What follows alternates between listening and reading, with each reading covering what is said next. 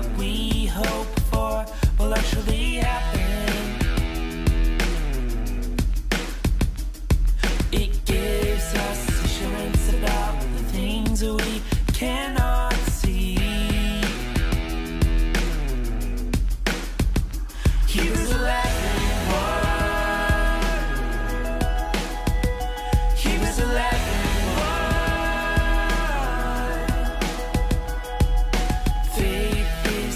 confidence that what we hope for will actually happen.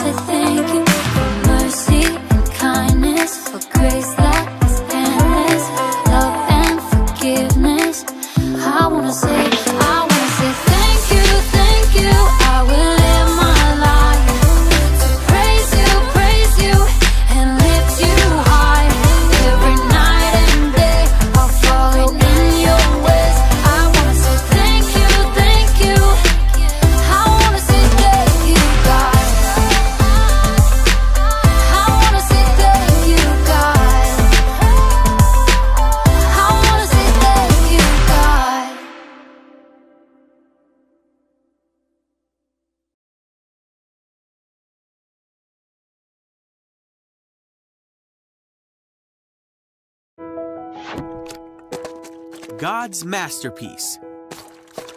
God is with us. This is Jesus. Heyo! Jesus is the Savior of the world and the Son of God. While Jesus was on earth, he taught everyone about God's love. He healed many people from their sickness, performed many miracles like calming storms, and even raised people from the dead. Wahoo! But some people did not like what Jesus was doing. And they put him to death. He died on a cross and was buried in a tomb. For three days, Jesus' body laid in that tomb, and it seemed that there was no hope. But very early on Sunday morning, the woman who cared for Jesus went to go visit his body, found that his tomb was empty and that he was no longer there. For he was risen, he was alive. Woohoo! Huh? Heyo! Rah!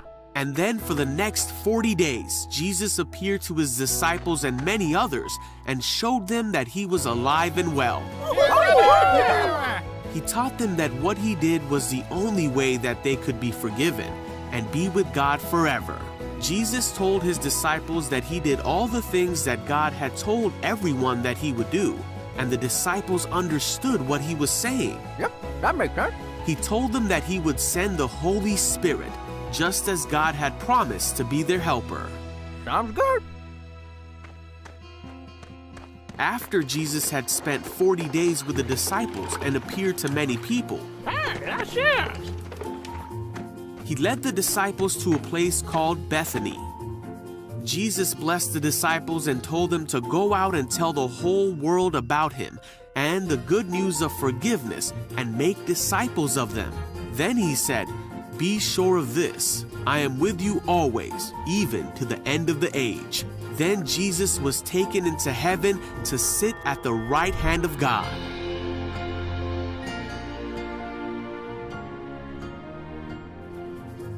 Not long after that, the Holy Spirit did come to the disciples to be their helper. The disciples knew that God would truly be with them always. And the Holy Spirit is still with us today, for Jesus promised that He would be with us to the end of the age, and He is.